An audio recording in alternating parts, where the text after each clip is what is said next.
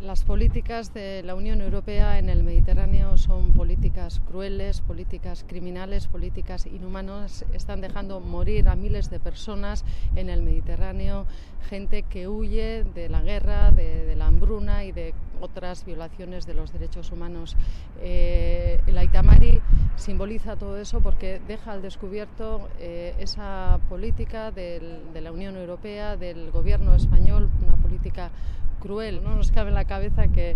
el gobierno de Sánchez, que en un principio bueno, pues hizo unos gestos que iban en la dirección adecuada, digamos, y sin embargo ahora ni tan siquiera otorga el permiso necesario a la Itamari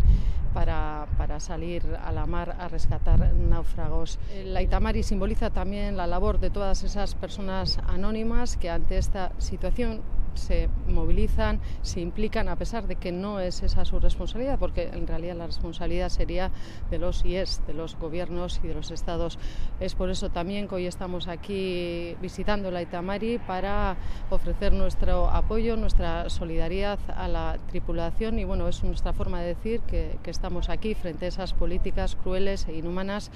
de la Unión Europea y en las que colabora también el Estado español.